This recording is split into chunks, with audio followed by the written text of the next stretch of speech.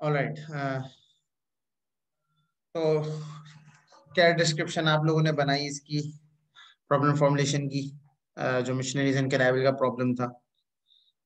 States initial state successor function goal test ये मुझसे chat uh, पे प्राइवेटली सब शेयर कर दें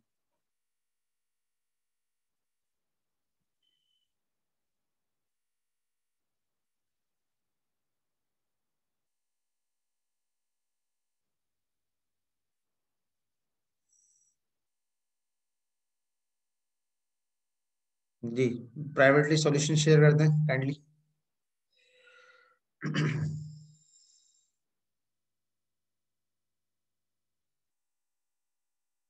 अच्छा ट्राई तो करो, अभी तो अब ट्राई कर लो। प्रॉब्लम फॉर्मुलेशन तो आनी चाहिए सॉल्व करना आप लोगों को। ये हेडिंग्स हैं प्रॉब्लम जो है उसका स्क्रीनशॉट लो ठीक है? और इन हेडिंग्स के लिहाज से सुधरो इनिशियल स्टेट तो ये होगी कि सारे मिशनरीज कैनाबल एक ही स्ट्राइक पे होंगे। ठीक है? टोटल स्टेट्स क्या होंगी? आपको ये एक थोड़ा सा देखना है। सक्सेसर फ़ंक्शन क्या होगा? ये आपको देखना है। गोल टेस्ट तो ये कि सारे मिशनरीज एंड कैनाबल्स आपके बेसिकली दूसरे एंड पे चले जाएँ रिवर के। बस। पाथ कॉस्ट आप वन रख लो कि एक मिशनरी एक कैनाबल को मूव करने की कॉस्ट वन है तो ये भी चलेगा। तीन मैंने सॉल्व कर दिया दो खुद कर लो। State initial state successor function ये तीन चीज़ें करता हूँ। जो माइंड में है जो आपको लगता है एक ट्राई दो अपने आप को। Give yourself a try ठीक है? इनिशियल स्टेट स्टेट और सक्सेसर फ़ंक्शन मैं आप, ये प्रॉब्लम आपको देख लो। इसकी डिस्क्रिप्शन मतलब ये आपके पास दोबारा आपको दी है। दो तीन मिनट ले लो, इसको सॉल्व करो। ट्राई करो। कोर्स खत्म कराना मकसद नहीं है चीज़ें आनी भी चाहिए आपको।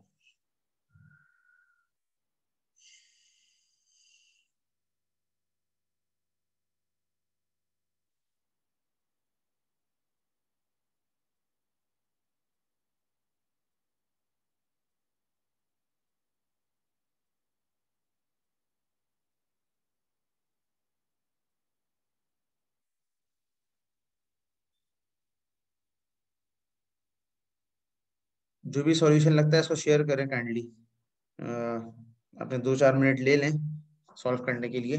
नहीं सो करें सॉल्व करें ट्राई करें। ट्राई दें अपने आप को एक और।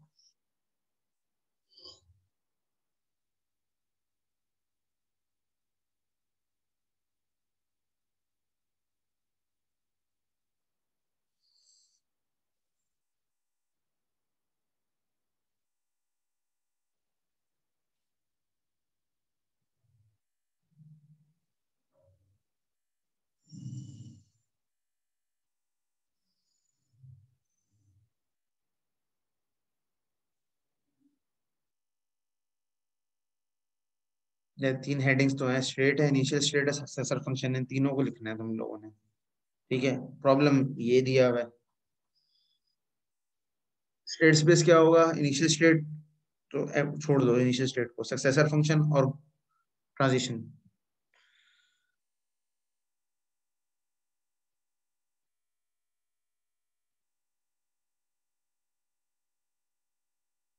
सक्सेसर फ़ंक्शन क्या होगा? कायनात। सक्सेसर फ़ंक्शन लिखो। वर्ल्ड स्टेट्स को कैसे रिप्रेजेंट करोगी वो, उसको, उसके लिए भी लिखो कुछ, जो लगता है आपको।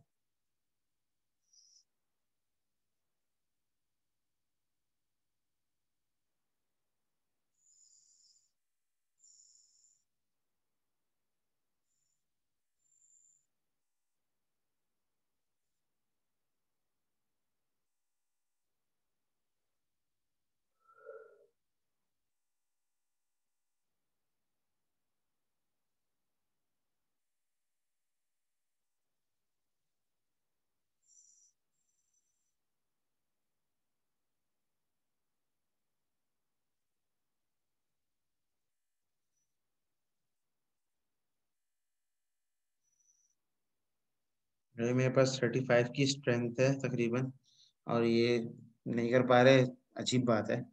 कोशिश तो करो, शुरू तो करो।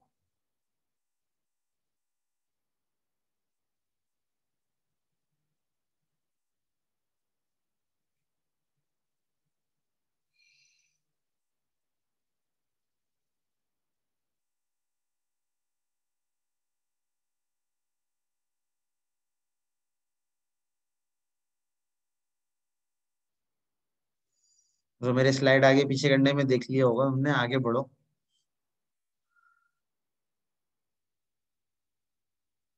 सक्सेसर फ़ंक्शन बताओ सक्सेसर फ़ंक्शन सबसे इंपॉर्टेंट वो है state world state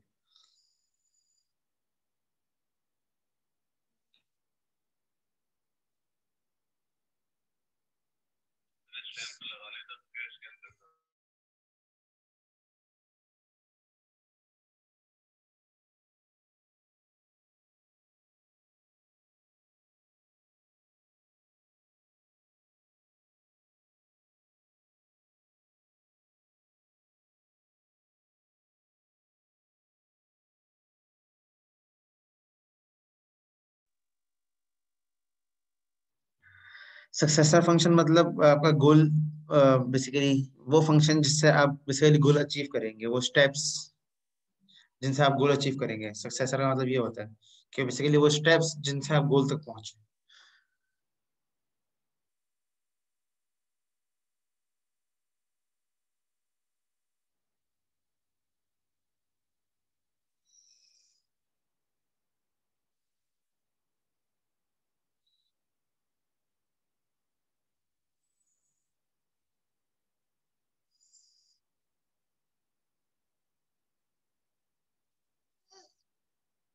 हम्म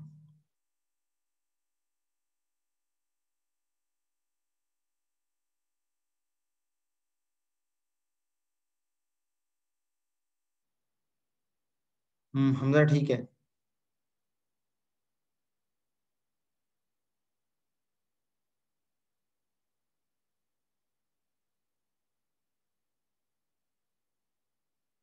मुझे है गूगल बाबा से हेल्प ले ली है तुम लोगों ने।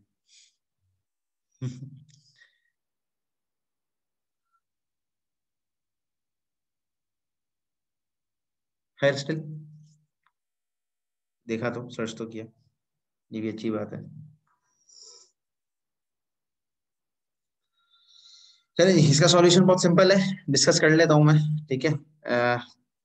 स्टेट या आपका वर्ल्ड जो है वो बेसिकली क्या है, एक बेसिकली ट्रिपल है, जिसमें एक्स वाई और जेड है। X for missionaries Y for cannibals Z for ends of river जिसको क्रॉस करना है।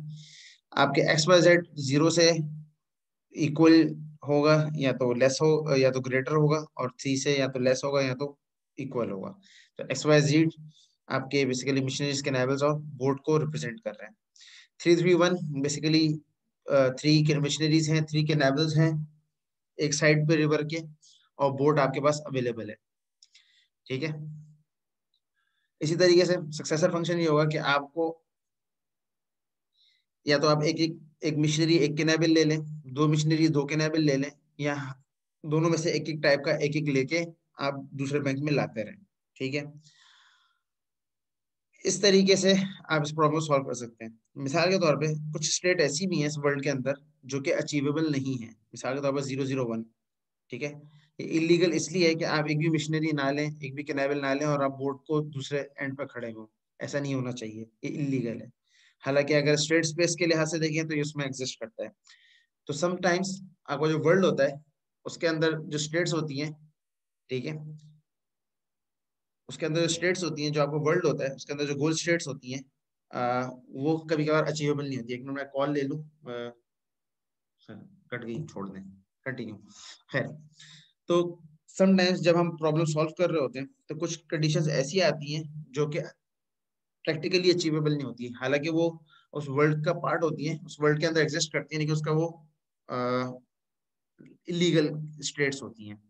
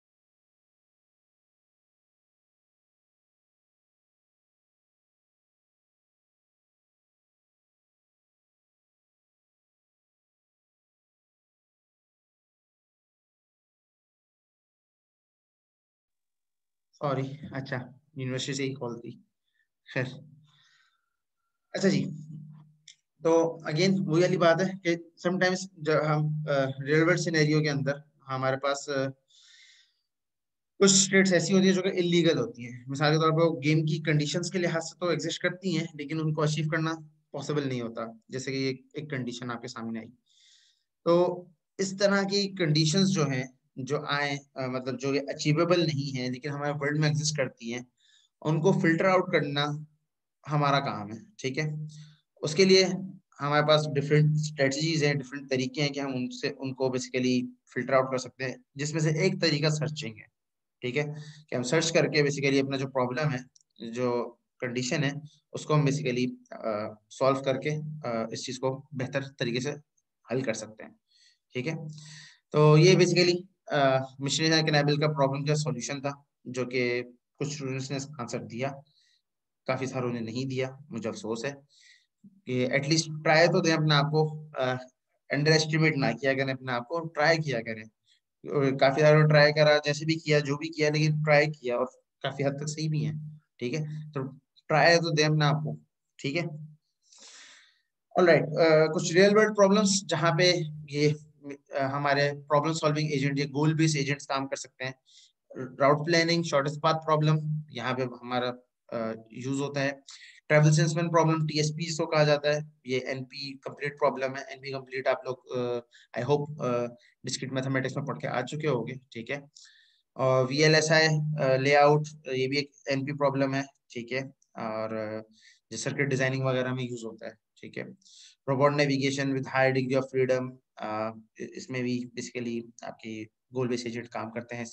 असेंबली सीक्वेंसिंग यानी कि ऑब्जेक्ट्स की या कार्ड्स की असेंबलिंग जो होती है, जैसे पूरी सीक्वेंस होती है कि एक के बाद एक एक पूरा पैटर्न होता है कि एक पाइपलाइन से होते हुए दूसरी में जाएगी एंड सो ऑन तो अगर की कोई भी सिनेरियो तो वहाँ पे इसके लिए हम इसको यूटिलाइज कर सकते हैं।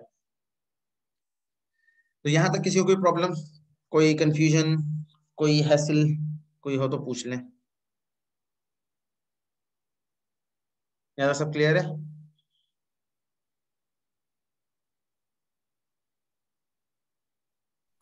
यस सर चलिए गुड है अच्छा जी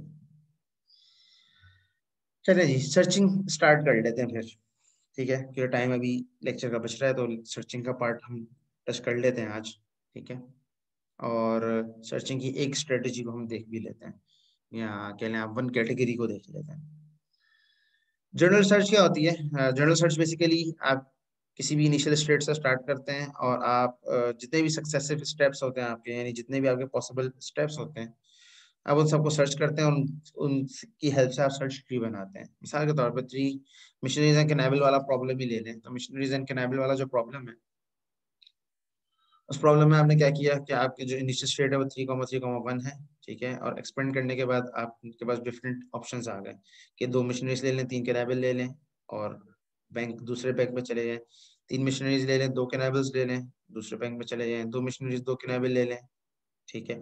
तो ये जो क्रॉस लगा हुआ है बेसिकली वो स्टेट्स हैं जो कि आपकी वैलिड स्टेट नहीं है इनवैलिड स्टेट्स है, ठीक है? अनवैलिड स्टेट्स हैं तो अनवैलिड स्टेट्स को हमने यहाँ पे क्रॉस कर दिया, जो वैलिड स्टेट्स हैं, उनको हम कंटिन्यू करेंगे। इस तरीके से आप जब तक स्पेंड करते रहेंगे जब तक आप सॉल्यूशन तक ना पहुँच। ठीक है? फराज यूनि ओपन हो रही है लैब्स के लिए। मुझे आइडिया नहीं है, हो सकता है हो रही हो। वैसे मैं लैब कोई कंडक्ट करता नहीं हूँ तो आप लोगों शायद जाना पड़े। सॉरी ठीक है? मुझे पता नहीं अब क्या सिनेरियो है। हो सकता है ओपन हो जाए। लास्ट सेमेस्टर भी ओपन हुई थी लैब्स के लिए सिर्फ़ ना कैंपस ओपन होता था। तो हो सकता है इस दफ़ा भी वही स्ट्रेटजी दोबारा स्टार्ट कर रहे हो। हार्डवेयर वगैरह होती है ना उनके इनके लिए होता है। जी ये मुझे पता नहीं स्केजुअल आप लोग मेरे ख्याल से इस तरीके से ही रखते हैं कि आपकी कम चक्कर लगे यूनिवर्सिटी के ज़्यादा चक्कर ना लगे। और अगर आपको कोई मतलब आपको लगता है कि आपकी तबीयत खराब है सही नहीं है तो आप एच से बात करके उसको एप्लीकेशन को मेडिकल रिकॉर्ड दिखा के अपना आप घर से ले सकते हैं मेरे ख्याल से। लेकिन ये पूछ लीजिएगा सब, मुझे पता नहीं है, मैं रफ आइडिया बोल रहा हूँ, ठीक है?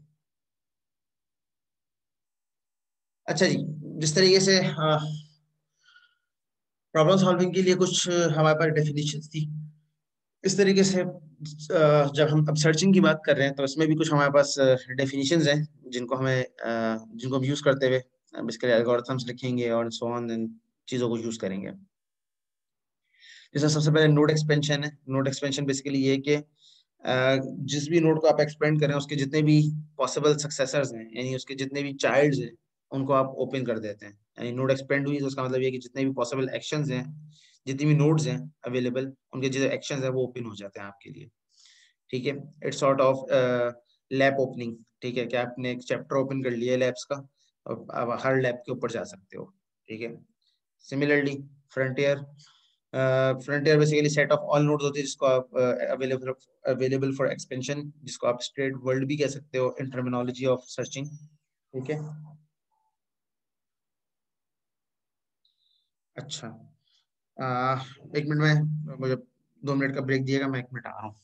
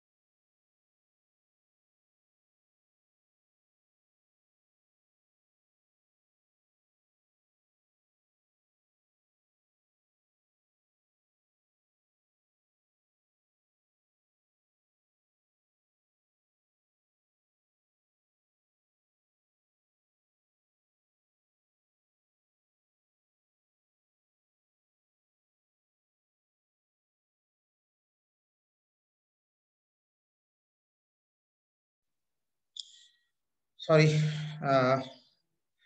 तो फ्रंटियर बेसिकली जो uh, जिस तरीके से हम अगर सर्चिंग के लिहाज से बात करें तो स्टेट वर्ल्ड जो था हमारा ठीक है वो हमारा एक तरीके से फ्रंटियर होता है। सर्च स्ट्रेटेजी बेसिकली वो टेक्निक होती है जिसके थ्रू हम बेसिकली नोड्स को एक्सपेंड कर रहे होते हैं। ट्री बेस्ड सर्च बेसिकली वो टेक्निक्स हैं जो कि बेसिकली ट्रीज के ऊपर इम्प्लीमेंट होती हैं। और उन टेक्निक्स की खासियत ये होती है कि लूप्स को इनफाइनाइट लूप्स को वो बेसिकली की तरफ़ समटाइम्स लीड करती हैं। और ग्राफ्स बेस्ड स्ट्रेटजीज भी हैं, जो कि बेसिकली जिसमें हम एक्सप्लोर सेट को मेंटेन कर रहे होते हैं, जो कि एक बेसिकली सेट होता है, जिससे हम ये चेक कर रहे होते हैं कौन सी नोड्स हमने विज़िट कर ली हैं और कौन सी नोड नोड्स हमने विज़िट नहीं करी। तो इससे बेसिकली हम सॉल्यूशन या जो हमारा गोल है उससे उसकी अचीवमेंट का हमें आइडिया हो जाता है हम कौन कौन सी स्टेट्स को एक्सप्लोर कर चुके हैं। तो इसलिए तो उस वजह से हम दोबारा उन स्टेट्स पे दोबारा हमें ना जाना पड़े और हम सॉल्यूशन इजीली उसका फाइनल सॉल्यूशन तक पहुँच जाए। ठीक है? तो एक सिंपल सर्च ट्री की इम्प्लीमेंटेशन की बात कर लेते हैं, ठीक है? अगर एक सिंपल सर्च ट्री की बात की जाए, ठीक है? तो कौन कौन सा उसमें डेटा स्ट्रक्चर्स यूज़ होते हैं और स्टेट क्या है पेरेंट क्या है एक्शन क्या है पाथ कॉस्ट क्या है एंड सो ऑन ठीक है? तो स्टेट बेसिकली आपकी स्टेट स्पेस होता है, ठीक है? जो कि किसी भी नोड नोड्स की हेल्प से हम रिप्रेजेंट कर रहे होते हैं, जब हम सर्च ट्री में बात कर रहे होते हैं। पेरेंट वो नोड होती है, जिससे बेसिकली सर्च ट्री आपका स्टार्ट हो रहा होता है, ठीक है? और एक्शन बेसिकली आपके, वो पेरेंट से लेकर नोड तक के जो स्टेप्स हैं वो एक्शन कहलाते हैं क्या पेरेंट्स से चाइल्ड चाइल्ड नोड से जनरेट करते हैं चाइल्ड नोड से फिर फर्दर जनरेट करते हैं सो ऑन और पाथ कॉस्ट आपकी बेसिकली वो कॉस्ट होती है जिस ट्रेडिशनल uh, कॉस्ट होती है जो कि basically from the starting to the end होती है और टुवर्ड्स द गोल जिसकी जिसकी रिप्रेजेंटेशन हम लोग जी ऑफ़ एन से करते हैं. इसको G bracket N G of N पढ़ते हैं वैसे इसको तो जी ऑफ़ एन से करते हैं ठीक है? एल्गोरिथमिक सेंस में इसको जी ऑफ़ एन कहा जाता है ठीक है? और सर्च ट्री अगर क्यू से इम्प्लीमेंट कर रहे हैं तो क्यू ऑब्वियसली क्यू एम्प्टी होती है पॉप इंसर्ट क्यू में आप कर सकते हैं पुश इन क्यू डी क्यू होता है स्टैक में भी पुश एंड पॉप होता है तो ये वही वाली बात है, इसमें कि भाई जो भी वो है। एंड शुरू में क्यू आपकी एम होगी, फिर जिस जिस नोट को आप एक्सपेंड करते रहेंगे, या आप जिस भी नोट पे होंगे, उससे फर्दर नोट्स को आप एक्सपेंड करेंगे, फिर उनको आप पॉप कर लेंगे, उनको आप इंसर्ट कर लेंगे एंड सो ऑन इस तरीके से प्रोसेस आपका चलता रहेगा। मिसाल के तौर पे ये एक कंडीशन है, ठीक है? अब ये एक वही एट पजल प्रॉब्लम है और उसमें एक नोड है, ठीक है? तो इस नोड के कोई ना कोई पेरेंट नोड होगी। ये नोड बेसिकली किसी स्टेट को रिप्रेजेंट कर रही होगी या कोई स्टेट्स होंगी, जिन स्टेट्स के थ्रू आप इस नोड पे पहुँच सकते हो। जैसे एट है, अब एट पे आप ब्लैंक से ही पहुँच सकते हो टू से ही पहुँच सकते हो वन से ही पहुँच सकते हो। और एट का पेरेंट अगर देखा जाए, ठीक है तो एट का पेरेंट यहाँ पे ब्लैंक ही है, क्योंकि ब्लैंक से स्टार्ट हो रहा है, बाकी सारी चीज़ें फिर ओपन हो रही है। तो एक्शन कौन कौन से अवेलेबल हैं डेप्थ क्या है पाथ कॉस्ट क्या सो ऑन ये सारी चीज़ें। जब आपको ऑब्वियसली जो आपको प्रॉब्लम दिया हो उसका ट्री जब आप डिज़ाइन करते हो, उस वक्त आपको देखना होता है। यहाँ तक क्लियर है सबको यहाँ तो कोई प्रॉब्लम तो नहीं है?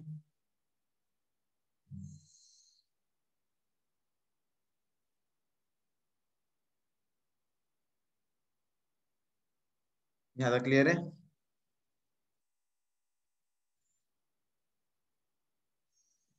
चलिए।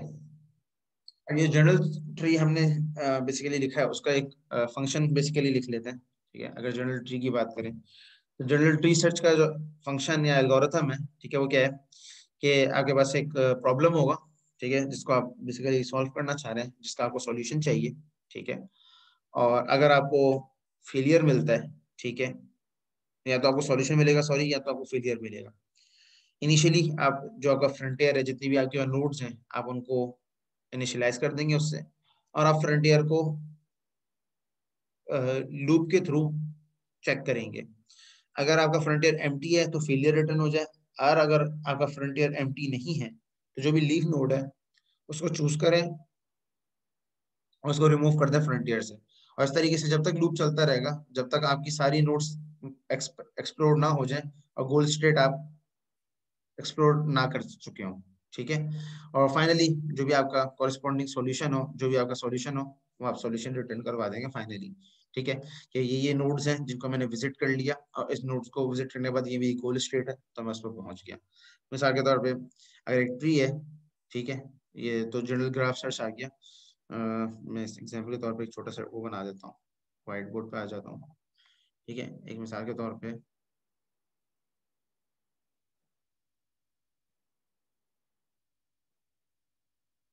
ये मिसाल के तौर पे एक छोटा सा ट्री है ये। और इसकी ये जो स्ट्रेट है, ये वाली, जो राइट का चाइल्ड है, ठीक है, ये वाला।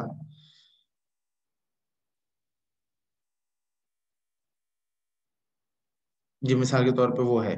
ये चाइल्ड ये चाइल्ड ये गोल्ड स्टेट है, ठीक है। तो क्या होगा? जब फ्रंटियर लॉन्च होगा तो ये सारी नोड्स आ जाएँगी, ठीक है? लोड हो जाएँगी। फिर जब ये एक्सपेंड होगा तो ये एक्सप्लोर ये एक्सप्लोर हो चुकी हो। एक्सप्लोर सेट में एक तरीके से चले जाएगा, ठीक है? यहाँ क्यू का पार्ट बन जाएगा। फिर आप इसको एक्सप्लोर करेंगे, ठीक है? फिर आप इसको एक्सप्लोर करेंगे। जब ये पता चल जाएगा गोल स्टेट है, तब यहाँ पे आप क्या आके स्टॉप हो जाएँगे और इस पूरे का पाथ जो है वो सेव कर लेंगे अपनी क्यू के अंदर। सिंपल ठीक है?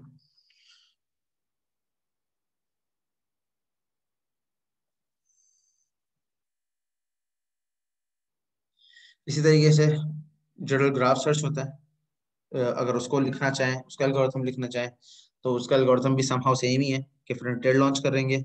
उसके बाद जो एक्सप्लोर सेट है शुरू में तो वो एम होगा।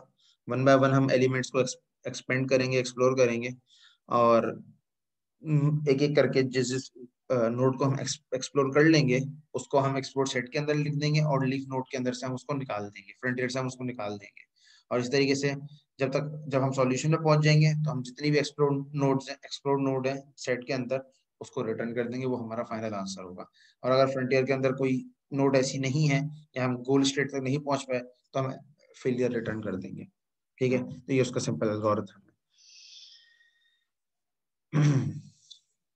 यहाँ तक क्लियर है? यहाँ तक कोई प्रॉब्लम कोई कंफ्यूजन है तो पूछ लीजिए। यहाँ तक किसी को कोई कंफ्यूजन हो, कोई प्रॉब्लम हो तो पूछ ले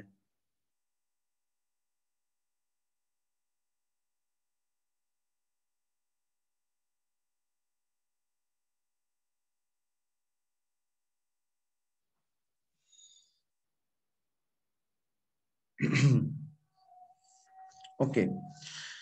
तो जब हम किसी भी सर्च स्ट्रेटजी को चूज़ करते हैं ठीक है? या हम कहते हैं कि हम एक्सवाइजेड सर्च स्ट्रेटजी को यूज़ करने वाले हैं या यूज़ करेंगे तो बेसिकली हम उसको टेस्ट करने के लिए या उसको वैलिडेट करने के लिए हम, हमारे पास चार बेसिकली चीज़ें होती हैं जिससे हम सर्च स्ट्रेटजी को चेक करते हैं या चार क्राइटेरियाज होते हैं जिनकी बेस के ऊपर हम कहते हैं कि ये सर्च स्ट्रेटजी इधर बेटर है या नहीं है या ये अच्छा सॉल्यूशन दे रही है नहीं दे रही, ठीक है? इसमें सबसे पहला फैक्टर कंप्लीटनेस है कि जो भी आपकी सर्च स्ट्रेटेजी है, क्या वो आपको गारंटी दे रही है कि वो सॉल्यूशन आपको फाइंड करके देगी? ठीक है, ये एक सबसे इम्पोर्टेंट फैक्टर है।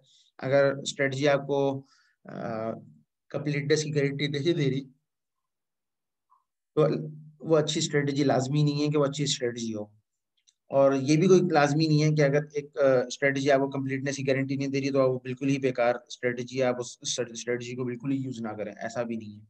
समटाइम्स ऐसी स्ट्रेटजी हो जो जो कि कंप्लीटनेस की गारंटी नहीं देती, लेकिन उस सिनेरियो के लिए वो अच्छी होती है। हमारे प्रॉब्लम की डेफिनेशन के लिहाज से हमें देखना पड़ेगा कि हमें कौन सी स्ट्रेटजी को यूज़ करना चाहिए। हम डिफरेंट स्ट्रेटजीज पढ़ेंगे उनमें से अगेन जब आपको जो प्रॉब्लम दिया हुआ, उस प्रॉब्लम की डिस्क्रिप्शन के लिहाज से आप उसके ऊपर चूज़ करेंगे कि आपके लिए कौन सी स्ट्रेटजी बेहतर है उस प्रॉब्लम को सॉल्व करने के लिए। ठीक है? इसी तरीके से दूसरी चीज़ है टाइम कॉम्प्लेक्सिटी ठीक है, कि कितना टाइम लेता है एल्गोरिथम आपका ये search strategy to find a solution ठीक है, अगर सॉल्यूशन फाइंड करने में बहुत ज़्यादा टाइम ले रहा है एल्गोरिथम या सर्च स्ट्रेटजी तो सर्च स्ट्रेटजी अच्छी नहीं है, ठीक है? अगर सर्च स्ट्रेटजी कम टाइम में आपको रीजनेबल सॉल्यूशन दे रही है तो that strategy is far better than than a strategy that is not giving you a solution और giving you a solution in elevated time a long waited time बाद। ठीक है? इसी तरीके से स्पेस कॉम्प्लेक्सिटी है। स्पेस कॉम्प्लेक्सिटी कि कितनी मेमोरी कंज्यूम करेगा सर्च स्ट्रेटजी कितनी मेमोरी उसको चाहिए, जब वो सॉल्यूशन को आपके रन करेगी या जो एल्गोरिथम रन करेगी तो उसको कितनी स्पेस रिक्वायरमेंट है। ये इसकी सर्च स्ट्रेटजी कहलाती है। इसको स्पेस स्ट्रेटजी स्पेस कॉम्प्लेक्सिटी भी कहते हैं और मेमोरी रिक्वायरमेंट भी कह सकते हैं मेमोरी कॉम्प्लेक्सिटी भी कह सकते हैं।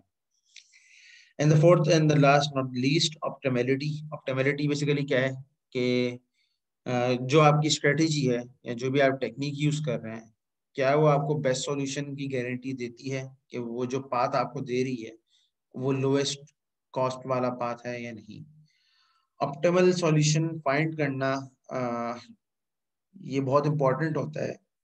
लेकिन ऑब्वियसली अगेन जैसे पहले आज बात होती रही कि पहले गोल तो अचीव हो जाए फिर उसके बाद उसको ऑप्टिमाइज भी कर लेंगे। पहले गोल अचीव करना मेरे हिसाब से सबसे इम्पोर्टेंट चीज़ है फैक्टर है।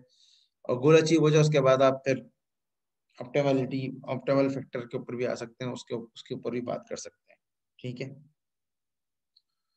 प्रॉब्लम डिस्क्राइबिंग क्वांटिटीज अगर उसकी बात करें तो बी बेसिकली uh, ये वो बेसिकली क्वांटिटीज हैं जिनको हम यूज़ करते हुए इन चार क्राइटेरियाज को मेंशन करेंगे आगे जब हम कंपैरिजन करेंगे डिफरेंट स्ट्रेटजीज का डिफरेंट स्ट्रेटजीज पढ़ लेंगे उसके बाद।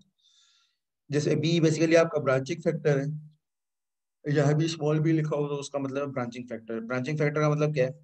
कि आपकी जो ट्री है या जो आपकी सर्चिंग स्ट्रेटेजी है वो कितना आपकी जो ट्री है उसको एक्सपेंड करती है. वाइड वाइड कितना करती है ठीक है? और D basically is the depth of shallowest goal node जो आपकी नियरेस्ट गोल नोड हो uh, उसका उसकी डेप्थ क्या है ठीक है? और M is the maximum length of any path in the state space और एम बेसिकली आपकी मैक्सिमम लेंथ होती है पूरे आपके जितने भी पॉसिबल मतलब पाथ है, उनमें से। ठीक है?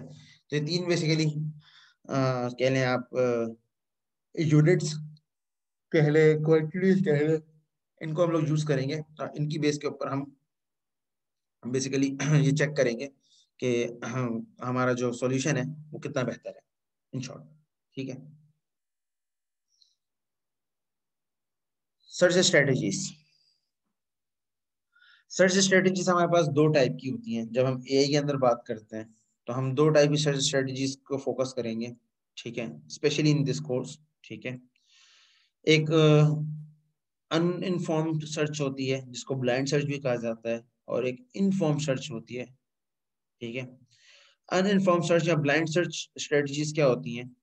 बेसिकली अनइनफॉर्म सर्च या ब्लाइंड सर्च सर्च के अंदर हमें लेंथ और कॉस्ट का ही पता होता पाथ की, जो हमारा सॉल्यूशन है, ठीक है? उस सॉल्यूशन तक पहुँचने की कॉस्ट जो है, उसकी लेंथ क्या लगेगी? उसकी कॉस्ट क्या लगेगी? इसका हमें आइडिया नहीं होता, इसीलिए हम इसको ब्लाइंड सर्च अप्रोच कहते हैं कि हमें बेसिकली एक्सप्लोर करना पड़ता है अपने वर्ल्ड को, और बेस्ड ऑन दैट एक्सप्लोरेशन हम फिर फैसला करते हैं कि हाँ जो हमारा सॉल्यूशन है, वो मतलब कितनी कॉस्ट के ऊपर हमने इस सॉल्यूशन को अचीव किया है। और क्या इससे बेहतर सॉल्यूशन एग्जिस्ट करता है तो फिर उसके, उसको एक्सप्लोर करते हैं, उसको, उसके लिए एक्सप्लोरेशन एक्सप्लोरेशन होती है। ठीक है? तो उसमें जो मशहूर एल्गोरिथम्स हैं, या जो एल्गोरिथम्स हम पढ़ेंगे इस कोर्स के अंदर, वो ब्रेथ फ़र्स्ट सर्च है डेप्थ फ़र्स्ट सर्च है यूनिफॉर्म कॉस्ट सर्च है डेप्थ लिमिटेड सर्च है आइट्रेटिव डीपनिंग सर्च है, और बाई डायरेक्शनल सर्च है। ये तकरीबन छह स्ट्रेटजीज हैं जिनको हम लोग ब्लाइंड सर्चेस या अनइनफॉर्म्ड सर्चेस के अंदर पढ़ेंगे। इनफॉर्म सर्चेस अलग हैं, उसमें अलग टेक्निक्स हैं, उनको भी हम पढ़ेंगे बाद में। ठीक है? इसके कंपैरिजन में लिखा हुआ भी है, जैसे इनफॉर्म सर्च और ह्यूरिस्टिक अप्रोचेस भी होती हैं, जिनको हम लोग बाद में फ्यूचर में इंशाल्लाह देखेंगे। ह्यूरिस्टिक सर्च उस सर्च अप्रोच को कहा कहा जाता है या उस सर्च अप्रोच को कहते हैं, जिसमें हम बेसिकली ऑप्टिमाइजेशन के थ्रू अपने गोल्स को अचीव करते हैं, या अपनी जहाँ पे कॉस्ट फैक्टर बेसिकली हमारे लिए इंपॉर्टेंट होता है। मिसाल के तौर पर प्रोडक्शन जो है, या प्रोडक्शन इन्वायरमेंट जो होता है, वहाँ पे ह्यूरिस्टिक प्रोसेस हम लोग इम्प्लीमेंट करते हैं। जैसे पावर है, या ऐसी कोई भी चीज़ है फ़िज़िकल वहाँ, इस टाइप के सिनेरियो के अंदर हम लोग ह्यूरिस्टिक अप्रोचेस ह्यूरिस्टिक अप्रोचेस को यूज़ करते हैं। ठीक है? यहाँ तक सबको क्लियर है। यहाँ तक किसी कोई प्रॉब्लम हो तो पूछ लें। फिर हम लोग आगे जो बी एफ़ एस है ब्रेथ फ़र्स्ट सर्च है, उससे स्टार्ट करते हैं।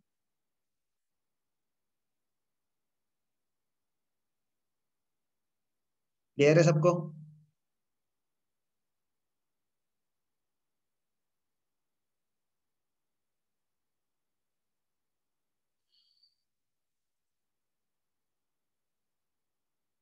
All right B F S या ब्रेथ फ़र्स्ट सर्च अप्रोच जिसको कहा जाता है।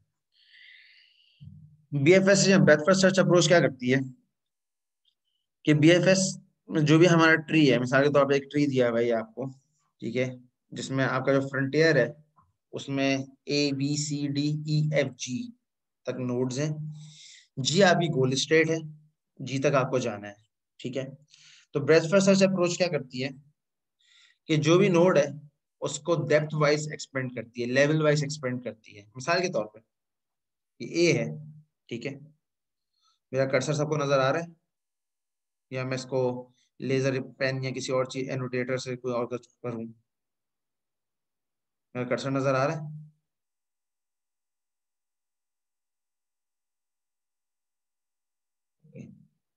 एनोटेटर से कर लेता हूँ यार।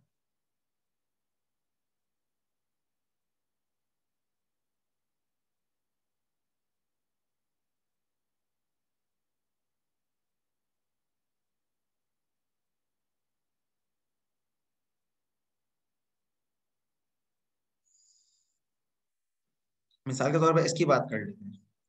ठीक है? ये है। ये बेसिकली एक लेवल है। ये दूसरा लेवल है। और ये तीसरा लेवल है।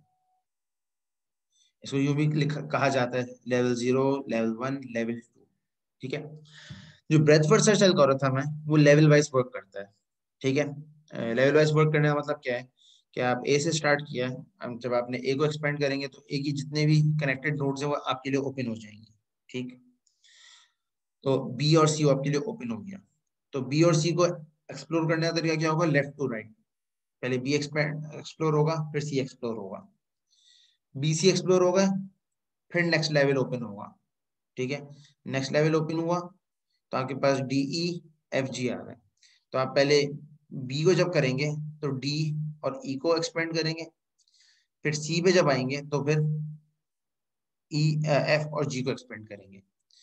तो जो ब्रेथ फ़र्स्ट सर्च एल्गोरिथम है वो डेप्थ वाइज या लेवल ब्रेथ वाइज या लेवल वाइज चलता है ठीक है? ब्रेथ वाइज चलता है। और जो आपकी शेलेस्ट गोल नोड होगी ये इसको हमेशा फाइंड करता है।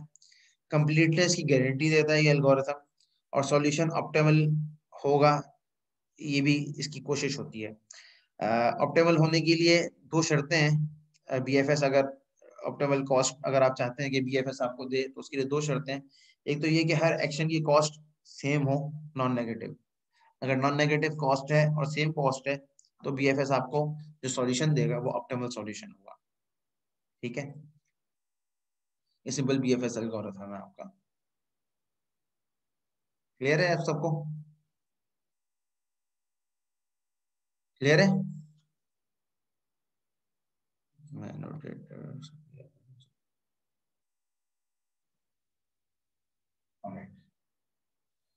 अब बीएफएस का एल्गोरिथम देख लेते हैं। ठीक है? एल्गोरिथम देख के थोड़ा सा डर लगेगा। डरने की ज़रूरत नहीं है। मैं समझाता हूँ। बहुत आसान है। दो तीन चीज़ें हैं वो समझ लें इसमें तो सब चीज़ें समझ आ जाएँगी। ठीक है? ब्रेथ फॉर सर्च हमें प्रॉब्लम दिया हुआ है। उसका सॉल्यूशन होगा या तो फेलियर होगा। ठीक? नोड स्टार्ट जो हमारी नोड क्या है? जो भी हमारी वो स्टार्टिंग स्टेट है जहाँ से हम इनिशियल स्टेट है जहाँ से हम लोग काम करना शुरू करें और बात कॉस्ट यहाँ पे ज़ीरो है। अगर जो हमारा प्रॉब्लम है, उस पर गोल्ड टेस्ट हम लगाएँगे। अगर हमारा जो सॉल्यूशन है, जो प्रॉब्लम है सॉरी उसमें कोई नोड ऐसी है, ठीक है? और जो कि जिस नोट पे हम लोग स्टैंड करते हैं, अगर वो गोल है, गोल स्टेट है तो सॉल्यूशन रिटर्न कर दें। अदरवाइज़, फ्रंटियर को ओपन करें या फ्रंटियर को यूज़ करें, फीफो क्यू को यूज़ करते हुए, ठीक है? क्यू का हमें पता है, क्यू क्या करती है? फ़र्स्ट एंड फ़र्स्ट आउट के ऊपर काम करती है, ठीक है? तो first and first out queue है ठीक है? FIFO queue. और एक्सप्लोर सेट हम लोग मेंटेन करेंगे साथ। एक लूप चलाएँगे, जब तक फ्रंटियर एम नहीं होता, ठीक है? जब तक फेलियर रिटर्न ना हो। ठीक है? अगर एम टी है फ्रंटियर तो फेलियर रिटर्न हो जाएगा। अदरवाइज़ एक एक करके नोट को निकालो फ्रंटियर से और उसको चेक करो कि वो नोट जो है, वो क्या गोल स्ट्रेट है या नहीं है। अगर गोल स्ट्रेट है तो ठीक है, अगर नहीं है तो उसके फर्दर चाइल्ड्स को एक्सपेंड करो। और फर्दर चाइल्ड्स को एक्सपेंड करने के बाद हर चाइल्ड को एक्सप्लोर करो और उस चाइल्ड को एक्सप्लोर करने के बाद भी चेक करो कि क्या वो गोल स्ट्रेट है या नहीं है। अगर तो गोल स्ट्रेट है तो वहाँ तक का सॉल्यूशन सॉल्यूशन को रिटर्न कर दो। अदरवाइज़ फ्रंटियर को कंटिन्यू करो। तो इस तरीके से एल्गोरिथम काम करता है। ठीक है? सिंपल ब्रेथ फ़र्स्ट सर्च का ठीक है? आपको एल्गोरिथम अगर याद करने की ज़रूरत नहीं है, आपको एल्गोरिथम की वर्किंग पता होनी चाहिए कि एल्गोरिथम काम कैसे करता है। अगर आपको एल्गोरिथम की वर्किंग समझ आ गई है, अगर आपको एक ट्री दिया जाए, आपको बोला जाए कि इसका बी एफ़ लिख दें तो अगर वो लिख सकते हैं आप देख के तो बस। आपको एल्गोरिथम याद करने की फ़िलहाल ज़रूरत नहीं है। एल्गोरिथम की हम हमें इस कोर्स में डायरेक्ट एल्गोरिथम समझने की ज़रूरत है। एल्गोरिथम को याद करने की ज़रूरत नहीं है ठीक है? टेक्निक क्या है? टेक्निक का नाम क्या है? कैसे काम करती है? ये चीज़ आपको समझ आनी चाहिए। कोड आ, कोई फ़र्ज़ नहीं है आपको याद हो उसका ठीक है? ठीक है? तो ये BFS हो गया ठीक है? इसकी टाइम कॉम्प्लेक्सिटी की बात कर लेते हैं। लेकिन मैं सेशन रिस्टार्ट कर लेता हूँ तो फिर हम इसको कंटिन्यू कर लेते हैं। ठीक है?